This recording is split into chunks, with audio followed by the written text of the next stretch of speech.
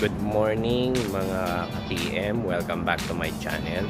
So papakita ko lang sa inyo yung aming canteen na kung saan ito pinaka the best. Libre ang pagkain. Basta gigising ka lang sa tamang oras. May breakfast, may lunch, at merong dinner. At pag ikaw eh panggap ano pa uh, nagugutom sa gabi, meron pa yung ano uh, supper which is uh, 10 to 11. So, ayan yung cafeteria. So, dito sineserve yung pagkain. Okay? Ayan siya. So, ako yung unang-una rito. Prine-prepare pa lang. Okay? Tingnan nyo naman, di ba? Napakaganda. So, yan na naman na isa sa mga perks. Pag nagwo-work ka sa casino, nagkaroon ka na ng experience at nakapag-work ka abroad. Okay? So, sana ma-inspire na naman kayo. This is Eric. Welcome back to my channel, Buhay Casino.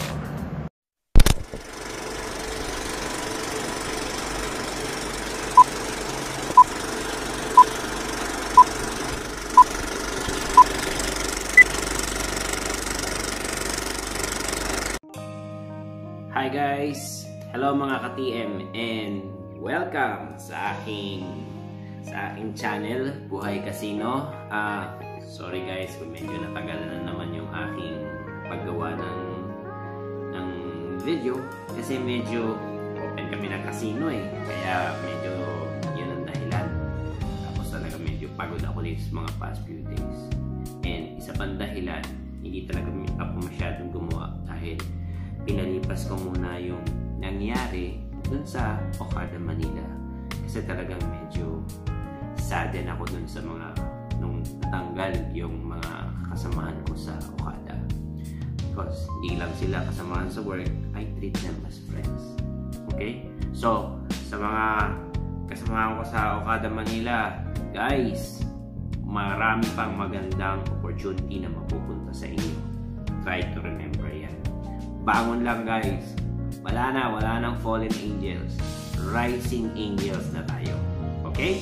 So, shout out sa inyo lahat. Be strong, guys. So, habang medyo wala pang casino na open na ma-applyan, hanap na lang kayo ng racket. Ang dami akong nakikita sa FB ngayon. Gamitin yung racket yon. Okay? Alamin nyo kung ano yun. Okay naman siya, pasukin nyo. Okay? So, yun ang shout out ko sa inyo.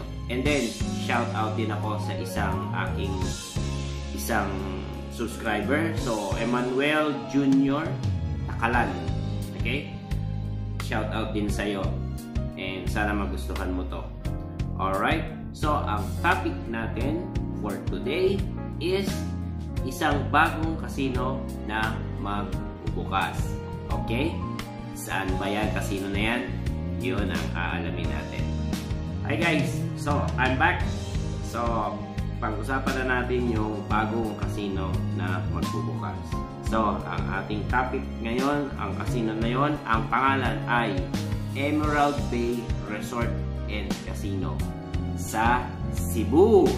Okay? So, yan ang medyo good news.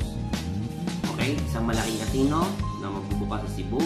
Uh, although dahil sa COVID-19, medyo madedelay lang ng konti yung kanyang target opening.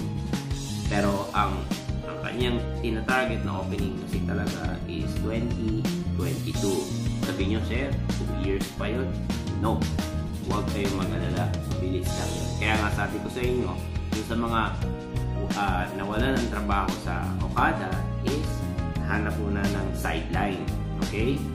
Para habang hinahantay niyo. Pero syempre, pwede ko na ibigay sa inyo yung information ko sa mag-apply. Or, check nyo lang sa Facebook, meron na rin nagpo-post about it. Okay? So, doon naman sa mga bago, wala pang experience sa casino at ngayon taga Visayas and Mindanao area. Here's your chance. Okay? Pwede nyo na rin mag-prepare sa pag-apply dito prepare nyo na yung resume nyo, pag-aralan nyo na yung mga interview questions, at yung math test. Bayan. panoorin nyo na uli yung aking ano, paano pa sa yung math test. O yung aral na dahil talagang lalabas yan. So just at least you have 2 years to be ready for it. Okay? So yan ha. So, ano ba ang Emerald Bay Resort and sino?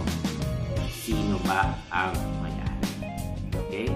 So, ang may-ari po ng Emerald Bay Resort and Casino ay si Dennis Uy. Okay? Sino ba si Dennis Uy? Okay, isa siya sa 22nd na mayayaman sa Pinas as per Forbes. Okay? 22nd. May estimated worth siya na 660 million Okay? Ang company niya is PH Resorts. Yun yung company na under ang Emerald Bay Resort and Casino. Okay? So, sino ba si uh, Dennis Uy? May konti akong video na nakuha sa sa YouTube about him.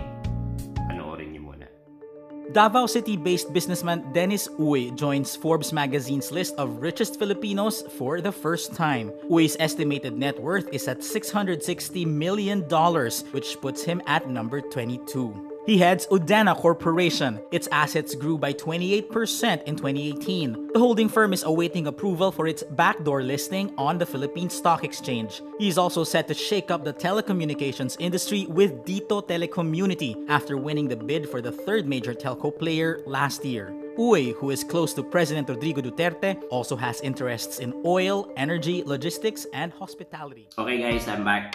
So, yun yung istorya ng kay Dennis Uy. Konti na kayong background sa kanya. Ano naman ang background ng casino? Okay, so ang Emerald Bay Resort and Casino, okay, ang gumagawa niyan is Udena Development Corporation. Alright? Ang first phase nung casino, okay, magkakaroon siya ng 81,644 square feet ng gaming floor. Okay?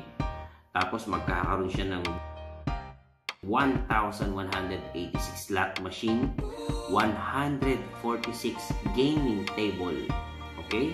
838 na room hotel, magkakaroon siya ng convention center, syempre magkakaroon siya ng iba't ibang types ng restaurant at meron pa siyang mga stores.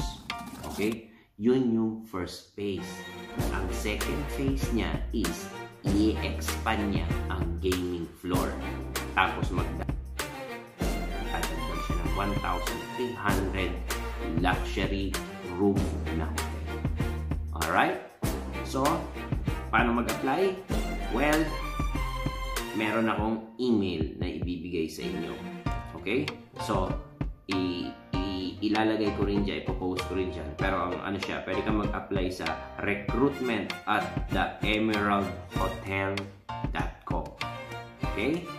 So, guys, sana makatulong sa inyo yung ano na yan, yung good news na yan, mapaghahandaan nyo. Alright?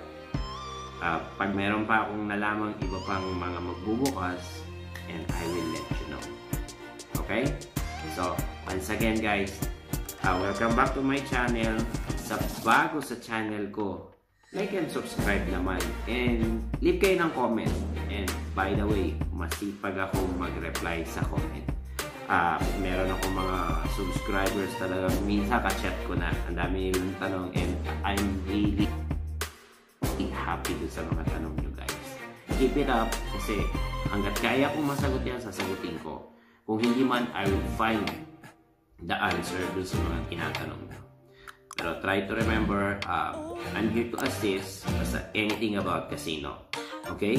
And then magpe-prepare pa ako ng isa pang video for another topic. Hindi po ko pa nga natatapos yung ano, part, part 4 dun sa math test. Pero, ano, let's just go along. Anyway, this is Eric. Welcome back to my channel, Buhay Casino. See you guys.